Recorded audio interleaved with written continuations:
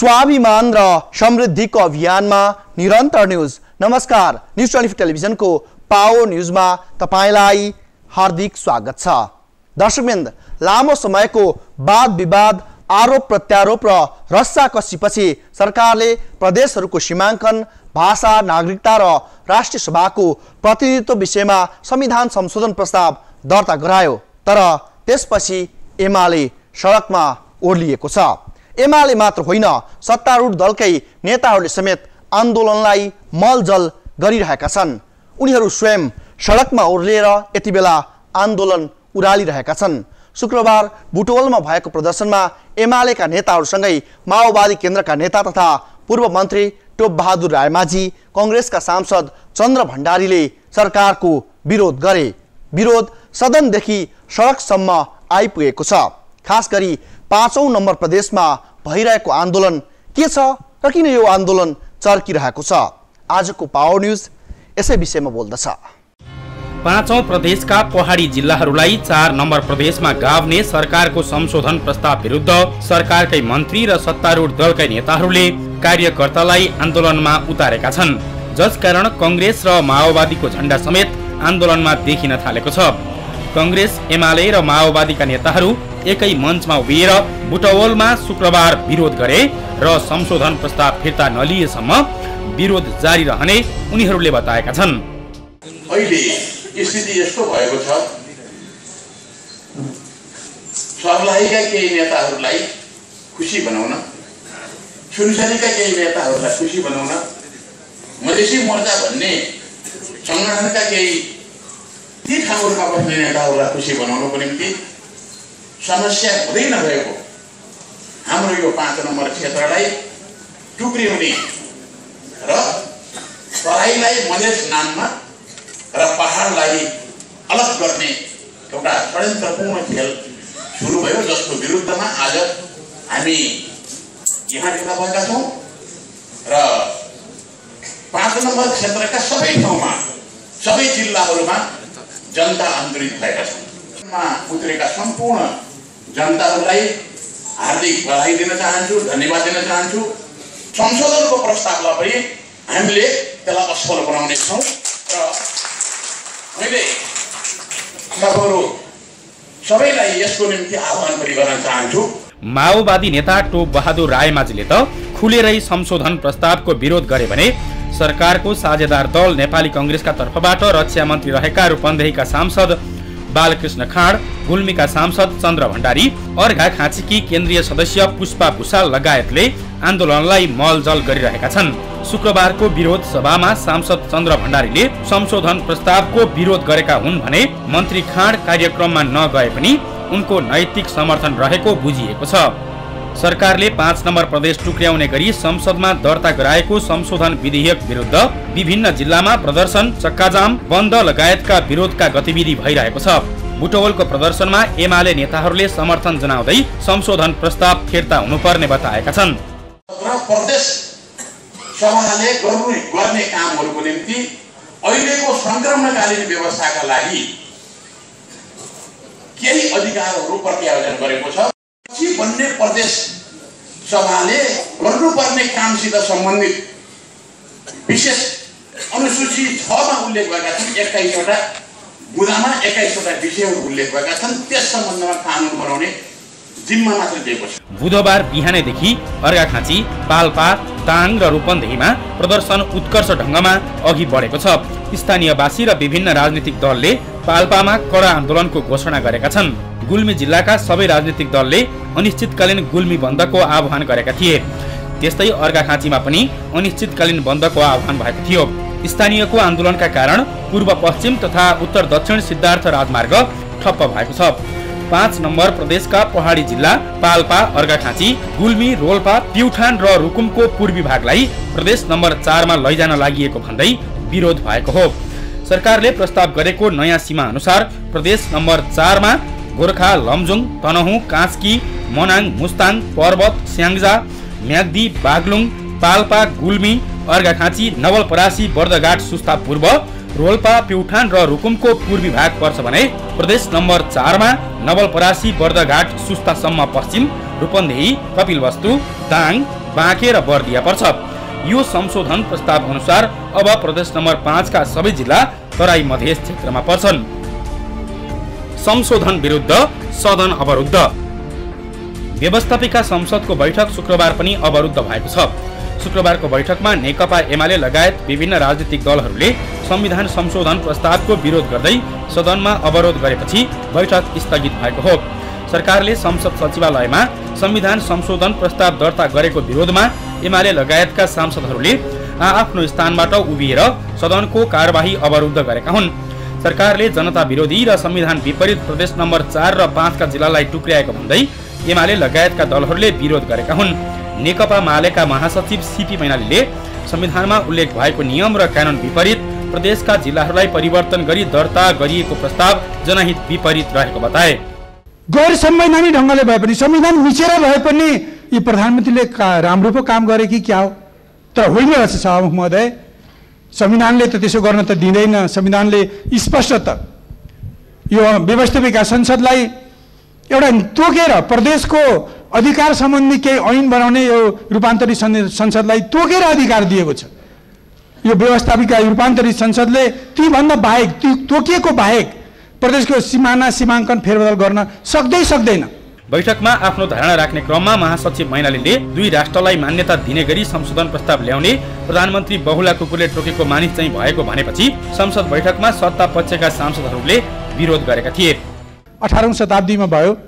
त्यसबेला कुनै तराईका राज्यहरूको तराईमा स्वतन्त्र राज्य नै थिएन। सेन राज्यहरू र पछिका ठकुरी खस राज्य अन्तर्गत रहेका तराई प्रदेशहरू एकीकरणमा आएका हुन् सभामुख महोदय। न इतिहासले तराई अलग्गै राज्य बन्नुपर्छ भनेर मान्यता दिन्छ। न हाम्रो विकासको आवश्यकताले दिन्छ न हाम्रो सुरक्षाको आवश्यकताले दिन्छ। के भएको सभामुख महोदय? हाम्रा प्रधानमन्त्रीलाई कुनै बहुला कुकुरले त टोकेन? इतिहासमा नभएको संविधानमा नभएको जनताको भावनामा नभएको विवादै नभएको ठाउँमा उहाँले यो काम जुन गर्नु छ। संसदीय व्यवस्थामा संसदीय प्रजातन्त्रभित्र लगेर संसदीय मर्यादाभित्र बसेर आफ्ना कुरा राख्न पाउने अधिकार यो व्यवस्थाले सुरक्षित गरेको छ सभामुख महोदय। बहुला कुकुर भन्ने शब्द यहाँ प्रयोग भएको छ कसका माथि प्रयोग गरिएको त्यो शब्द संसदीय शब्द होइन सभामुख महोदय। पहिलो त हो भने दोस्रो सम्मान्य सभामुख महोदय सम्मान्य सभामुख महेश कार्यसूचीमा हामीले हेरेका छौँ। सभामुखले मन्त्री परिषदबाट आएको पत्र पढेर सुनाउने र संविधानको धारा एक सय दुईको उपधारा दुई बमोजिम व्यवस्थापिका संसदमा प्रस्तुत भएको महाभियोग प्रस्तावमाथि छलफल गर्ने कार्यक्रम छ।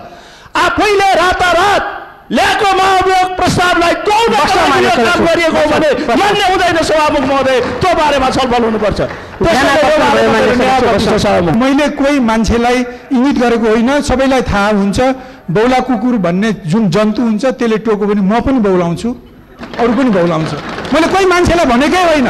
मैले वास्तविक कुकुरलाई भनेको अवास्तविकलाई भनेकै होइन। त्यही कारण यस्तो हुनु हुँदैन। हाम्रो प्रधानमन्त्रीलाई वास्तवमा सधैँ दिमागले सधैँ दिमागले काम भएन।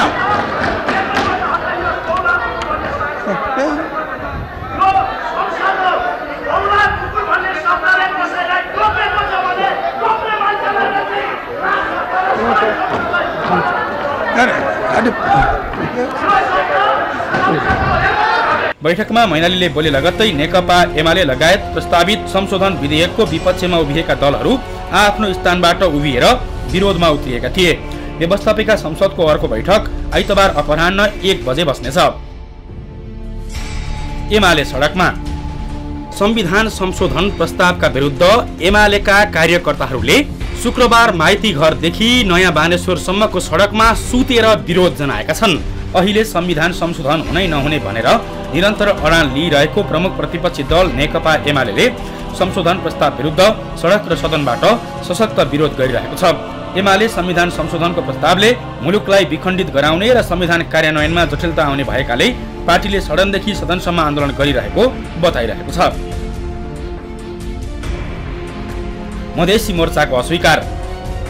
मधेस केन्द्रित दलको असन्तुष्टि सम्बोधन गर्न भन्दै दर्ता गरिएको संशोधन प्रस्तावप्रति संयुक्त लोकतान्त्रिक मधेसी मोर्चाले नै आपत्ति जनाएको छ। सङ्घीय गठबन्धनका संयोजक एवं सङ्घीय समाजवादी फोरम नेपालका अध्यक्ष उपेन्द्र यादवले जारी गरेको विज्ञप्तिमा गठबन्धनको सहमति बिना दर्ता भएको प्रस्तावले मधेसी मोर्चा र सङ्घीय गठबन्धनले उठाएको कुनै पनि मागको पूर्ण रूपले सम्बोधन नभएको भन्दै आपत्ति जनाएका हुन्।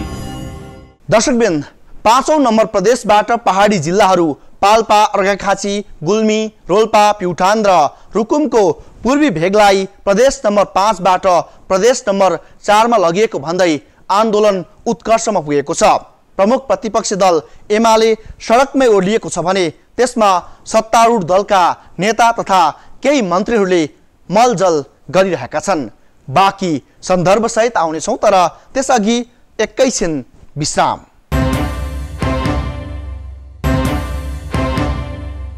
दर्शकवृन्द न्युज ट्वेन्टी फोर टेलिभिजनमा पावर न्युज बिच हुनुहुन्छ तपाईँ र हामी संविधान संशोधनको प्रस्ताव दर्ता भइसकेपछि देखिएको परिस्थितिबारे केन्द्रित छौँ र अब प्रस्तुत गर्छौँ बाँकी सन्दर्भ।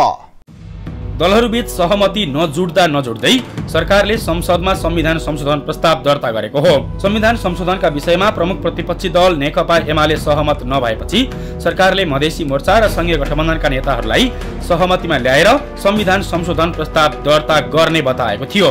प्रमुख प्रतिपक्षी एमाले भने आफ्नो सहमति बिना संविधान संशोधनको प्रस्ताव दर्ता भए सडक र सदनबाट प्रतिकार गर्ने उद्घोष पहिले नै गरेको थियो।